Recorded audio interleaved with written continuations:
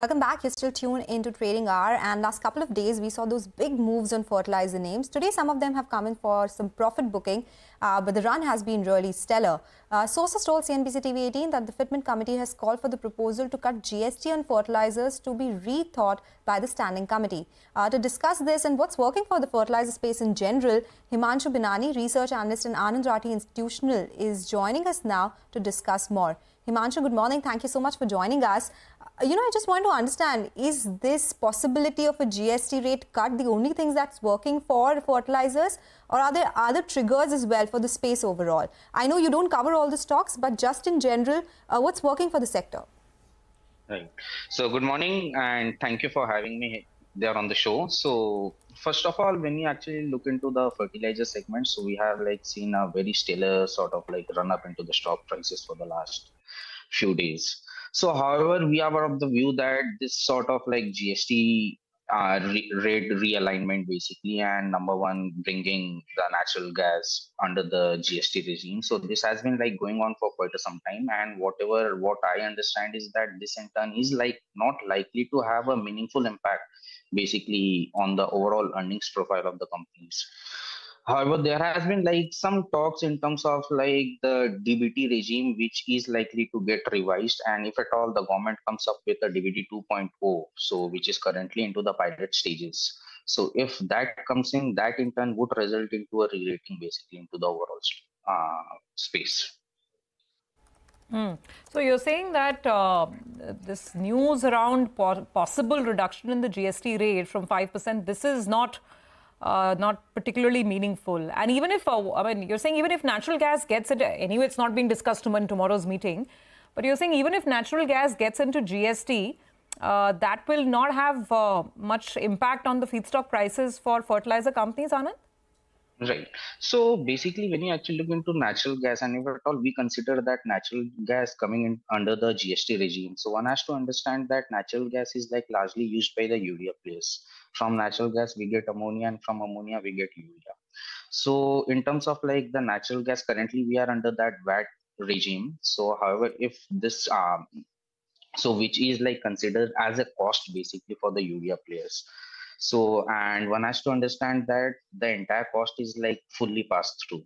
So, if at all the natural gas is coming under the GST regime, also, I do not foresee any sort of like impact on the PNL. So, PNL should be like largely neutral for the urea companies. Secondly, if you look into the non-urea side, non-urea they they do not like extensively use the natural gas. However, the discussion of bringing like the GST from five percent to zero. So that in turn would result that the MRPs are likely to get decreased in the final market. So which in turn would be like providing some sort of help to the farming community. So one has to see that how things play out on that side. Thirdly, when you actually look into the industrial segment side, so each and every fertilizer or moreover the urea players are having an industrial chemical segment also, where they have like excess ammonia which they have been like generating and the ammonia and the byproducts they are using that in the industrial segment. So one has to see that how things play out on that side. So that in turn would be like beneficial for few of the companies like the fertilizer chambal gsfc to name a few.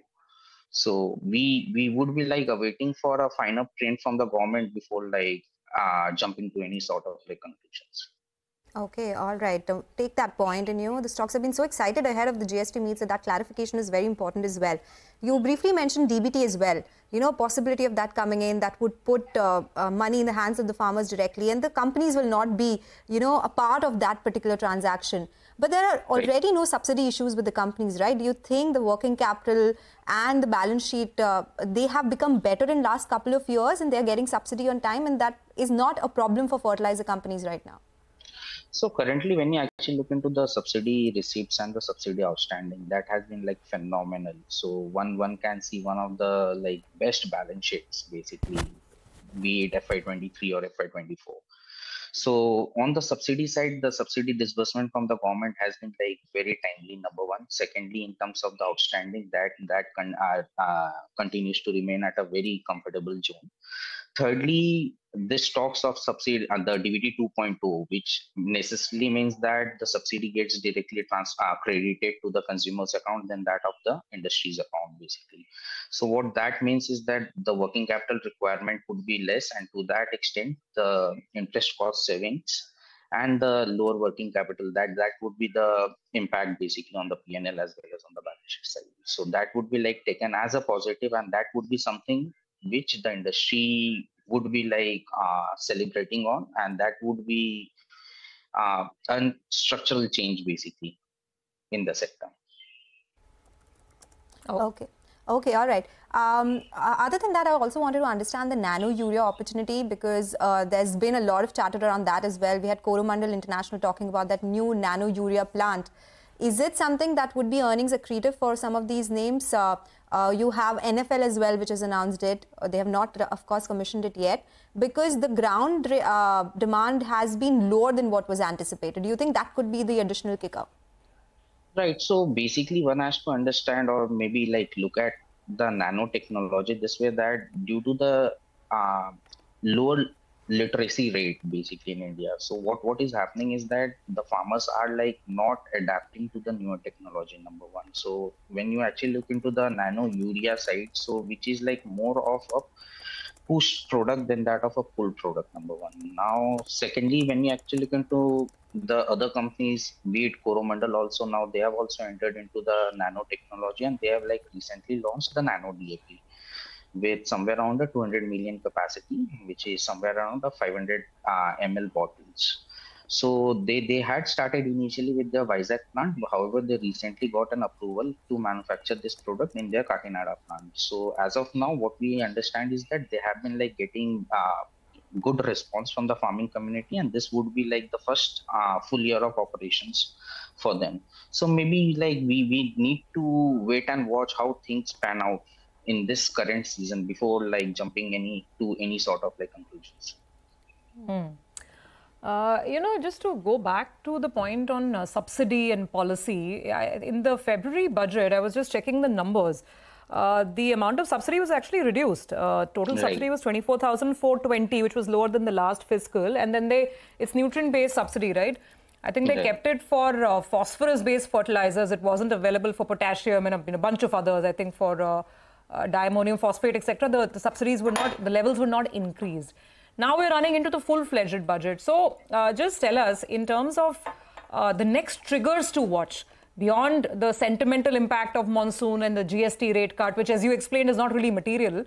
Uh, from a more material fundamental standpoint, what are the next important triggers to watch out for for fertilizer companies, given that we are uh, moving towards the budget now?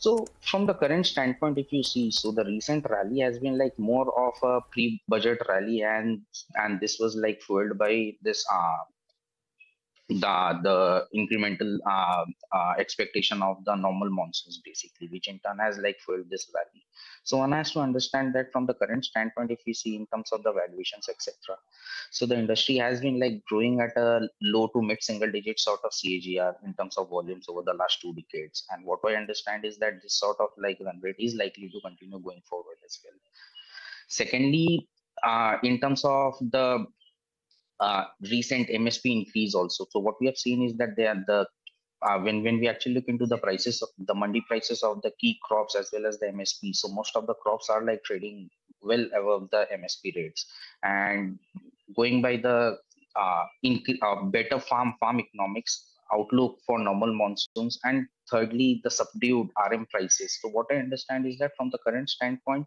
each and everything is like factored in, and there would be like no incremental excitement basically from the current.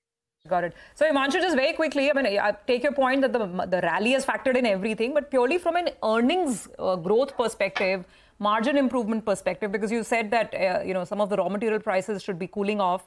Uh, so just from a, you know, pure earnings perspective, which are the stocks that you would watch out for where we could get at least decent earnings? So, so from the current standpoint, we continue to like Sumitomo Chemicals, which is into the agrochemical space. So we, we continue to like Sumitomo Chemicals and UPL in the agrochemical spec, while we continue to prefer Coromandel International in the fertilizer space. So these are the structural plays, and one one should like expect a stable sort of like earnings growth going forward. Okay, all right. Himanshu, thank you so much for joining us and making sense of what's happening in the fertilizer space. A lot of uh, sentiment uptick is what's been seen in the fertilizer stocks uh, lately. But as he points out that it could not, it would not make such a big difference in the earnings landscape. Time for a short